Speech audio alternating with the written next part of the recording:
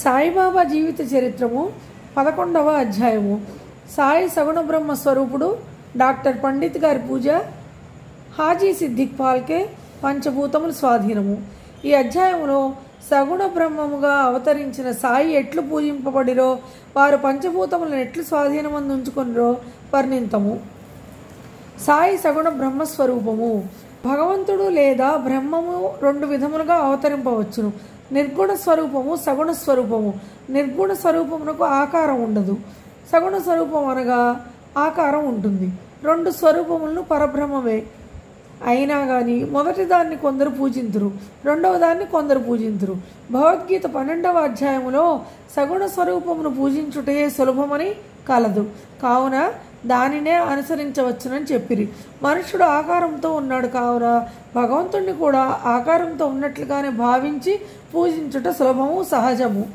మన భక్తి ప్రేమలు కొన్నాళ్ళ వరకు సగుణ స్వరూపము బ్రహ్మమును పూజించిన కానీ వృద్ధి చెందవు. రాను రాను ఆ భక్తి నిర్గుణ స్వరూపముకు పరబ్రహ్మమును పూజించుటకు దారితీయును. విగ్రహము యజ్ఞవేదిక అగ్ని వెలుతురు సూర్యుడు నీరు బ్రహ్మము ఈ ఏడు పూజింపదగినవి. కానీ సద్గురు వీడిని అన్నిటికంటే ఉత్కృష్టుడు. ఈ సందర్భములో సాయినాథుని మనసును ధ్యానించదము. వారు నిర్మోహక నిర్మోహమునకు అవతారము పరమ భక్తులకు ఆశ్రయస్థానము మనకు వారి వాక్కులు ఎందుగా అలా భక్తియే ఆసనము. మన కోరికలన్నీ నిరసించుటయే సంకల్పము. పూజ ప్రారంభించి పూర్తి చేసేదమని మనో నిశ్చయము కొందరు సాయిబాబా భగవద్భక్తుడనదరు. కొందరు మహాభాగవతుడందరు. కానీ మాకు బాబా భగవంతుని అవతారమే.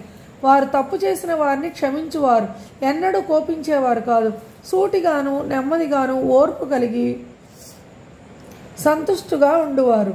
శ్రీ సాయిబాబా ఆకారంతో ఉన్నప్పటికీ నిరాకార స్వరూపులు. వారెల్లప్పుడూ ఉద్రేకము అభిమానము లేకుండా నిత్యము ముక్తులుగా ఉండువారు. గంగా నది సముద్రములకు పోవు మార్గమందు వేడిచే బాధపడు జీవులకు చల్లదనం కలుగచేయుచు చెట్లకు చేమలకు జీవకళ ఇచ్చుచు అనేకులకు దాహం తీర్చుచున్నది. అట్లనే సాయి వంటి యోగులు తమ జీవనం తాము గడుపుచూ తక్కిన వారందరికీ సుఖమును ఓర్పును ప్రసాదించుచున్నారు. భగవద్గీత ఎందు శ్రీకృష్ణుడు యోగి తన ఆత్మయని జీవత్ ప్రతిమ అని తానే వారని వారే తానని చెప్పి ఉన్నారు. వర్ణింపాలవి కాని ఆ సచ్చిదానంద స్వరూపమే షిరిడీలో సాయి రూపంగా అవతరించను. శృతులు బ్రహ్మమును ఆనంద స్వరూపంగా వర్ణిస్తున్నారు తైత్రీయ ఉపనిషత్తులో ఈ సంగతి ప్రతిరోజు పుస్తకములందు చదువుతున్నావు. కానీ భక్తులు ఈ పరబ్రహ్మమును షిరిడీలో అనుభవించిరి. సర్వమునకు ఆధారభూతముకు బాబా ఎవరిని ఆశ్రయించి ఉండలేదు. వారి ఆసనం కొరకు గోనె సంచి ఉపయోగించారు. వారి భక్తులు దానిపై చిన్న పరుపు వేసి వీపు ఆరుకుంటకి చిన్న బాలేసం సమకూర్చారు. బాబా తన భక్తుల అభిప్రాయము నెరవేర్చుచు వారి ఇష్టానుసారము తనను పూజించుటకు ఎట్టి అభ్యంతరము చూపకుండెను. కొందరు చామర్లతో విసనకర్రలతో విసురుచుంటారు. కొందరు సంగీత వాయిద్యములను మోగిస్తూ ఉంటారు. కొందరు వారి చేతులను పాదములను కడుగుచుండిరి. కొందరు వారికి చందనము అత్తరు పూయిచుండిరి కొందరు తాంబూలములు సమర్పిస్తుంటారు కొందరు నైవేద్యములు సమర్పిస్తూ ఉంటారు. షిరిడీలో నివసించినట్లు కనిపించినప్పటికీ వారు సర్వాంతర్యామి. ఎక్కడ చూసినా వారే ఉంటారు. వారి భక్తులు బాబా యొక్క సర్వాంతర్యామి తత్వమును ప్రతిరోజు అనుభవిస్తూ ఉంటారు సర్వాంతర్యామికు ఈ సద్గురువుకు మా వినమ్ర సాష్టాంగ నమస్కారములు. డాక్టర్ పండితుని పూజ. తాచా సాహెబ్ నూల్కర్ స్నేహితుడు డాక్టర్ పండిత్ బాబా దర్శనంకి షిరిడి వచ్చెను. బాబాకు నమస్కరించిన పిమ్మట మసీదులో కొంతసేపు కూర్చుండెను. అతనిని దాదాపట్టు కేల్కర్ వద్దకు పొమ్మని బాబా చెప్పాను. అట్లనే డాక్టర్ పండిత్ దా దాదాపట్టు వద్దకు పోయాను. దాదాపట్టు అతన్ని సగౌరవముగా ఆహ్వానించను. దాదాపట్టు బాబాను పూజించుటకై పూజా సామాగ్రి పళ్ళెముతో మసీదులో ఉన్న బాబా వద్దకు వచ్చారు డాక్టర్ పండిత్ కూడా అతన్ని వెంట వచ్చారు దాదాపట్టు పూజను పూజించెను. ఇంతవరకు ఎవరు కూడా బాబా నుదుటిపై చందనం పూయుటకు సాహసించలేదు. ఒక్క మహల్సాపతియే బాబా కంఠమునకు చందనం పూయిచుండెను. కానీ ఈ అమాయక భక్తుడకు డాక్టర్ పండితు దాదాభట్టు యొక్క పూజా పళ్ళెము నుండి ఇది తీసుకొని ఆ చందనమును బాబా నుదుటిపై త్రిపుండ్రాకారముగా వ్రాసెను. అందరికీ ఆశ్చర్యం కలుగునట్లు బాబా మాటైన ఆడక ఊరకుండెను.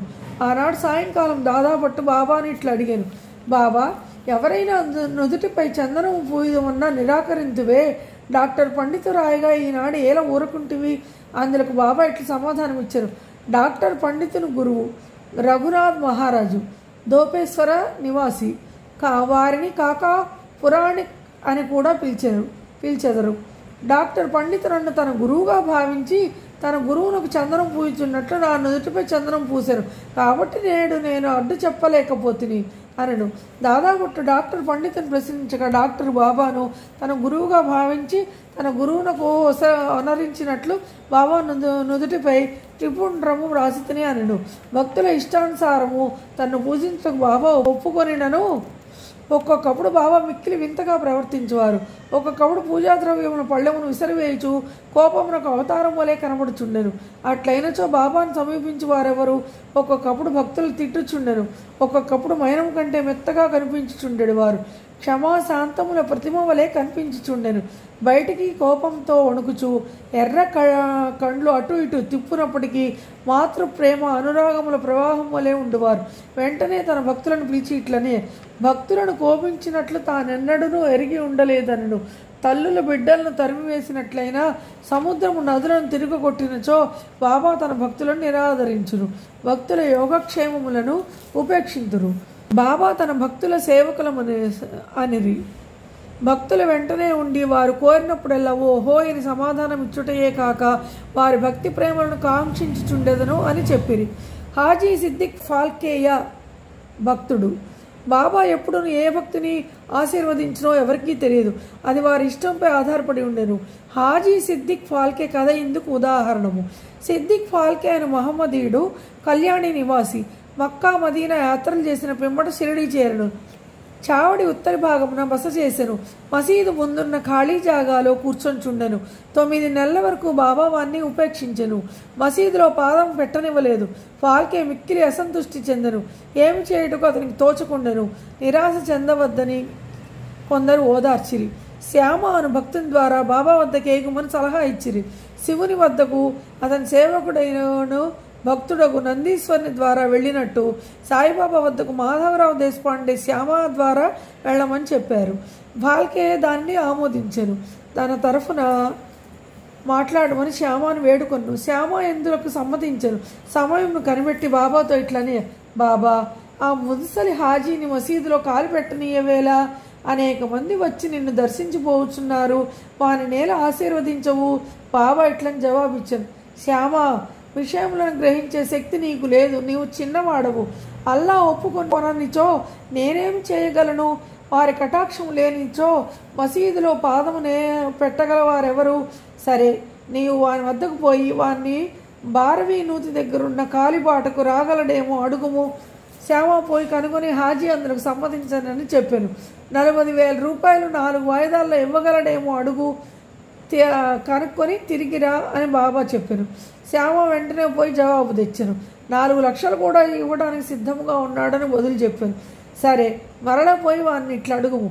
మసీదులో ఈనాడు మేకను కోసడము దానికి దాని మాంసము కావలనో రొండి కావలనో కప్పురములు అంటే వృషణములు. కావలనో కనుగొనుము. బాబా వారి మట్టి పాత్రలో ఉన్న చిన్న ముక్కతో సంతృష్టి చెందదనని హాజీ చెప్పానని శ్యామ బదులు చెప్పాను. ఇది వినగానే బావ మిగులు కోపించి మసీదులోని మట్టి పాత్రలు కొలంబ విసరివేచి తిన్నగా చావడిలో ఉన్న హాజీ వద్దకు పోయి కఫని అంటే పొడుగైన చొక్కా అనమాట చొక్కా పైకి పట్టుకుని ఇట్లనడు మహనీయుని వలె ఏల నటించుచున్నావు? తెలిసిన వారి వలె ఏల మాట్లాడుతున్నావు? ముసలి హాజీ వలె నటి నటించుచున్నావే? ఖురాన్ ఇట్లే పారాయణ చేయుచున్నావా మక్కా యాత్ర చేసి తినని గర్వించి నన్ను కనులుగొనలేకుంటివా ఇట్లు తిట్టినందుకు హాజీ గాబరాపడను బాబా మసీదుకు పోయాను. కొన్ని గంపల మామిడి పండ్లను కొని హాజీకి పంపాను. తిరిగి హాజీ వద్దకు వచ్చి తన జేబులోని యాభై ఐదు రూపాయలు తీసి హాజీ చేతిలో పెట్టాను. అప్పటి నుండి హాజీని బాబా ప్రేమించుచుండెను. భోజనమునకు పిలుచుచుండెను. అప్పటి నుండి హాజీ తనకి ఇష్టం వచ్చినప్పుడు ఎలా మసీదులోకి వస్తూ ఉండెను. బాబా ఒక్కొక్కప్పుడు వానికి డబ్బు ఇస్తూ వచ్చాడు. బాబా దర్బార్లో అతనికి కూడా చేర్చుకుని పంచభూతములు బాబా స్వాధీనము. బాబాకు పంచభూతములు స్వాధీనమైనది తెలుపు రెండు విషయములను వర్ణించిన పిమ్మట ఈ అధ్యాయమును ముగించదము. ఒకనాడు సాయంకాలంలో షిరిడీలో గొప్ప తుఫాను సంభవించను. నల్లని మేఘములు ఆకాశమును కప్పెను. గాలి తీవ్రంగా వీచెను. ఉరుములు మెరుపులతో కుంభ వృష్టి కురిసెను. కొంతసేపటిలో నేలంతయు నీటితో మునిగెను. జీవకోటులన్నీ పక్షులు జంతువులు మనుష్యులు మిక్కిలి భయపడేరు. తలదాచుకొనుటకు కొందరు మసీదులో ప్రవేశించిరి. షిరిడీలో అనేక స్థానిక దేవతలుండను వారిని ఆదుకొనలేదు. కావున వారందరూ తుఫాన్ని ఆపివేయుడని బాబాను వేడుకొనిరి. బాబా వారి భక్తికి మెచ్చెను. బాబా మనస్సు కరిగెను.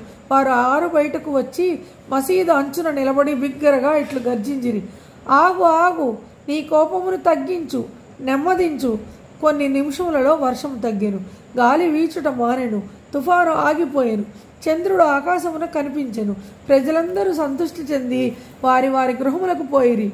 ఇంకొకప్పుడు మిట్ట మధ్యాహ్నం ధునిలో మంట అపరిమితముగా లేచెను.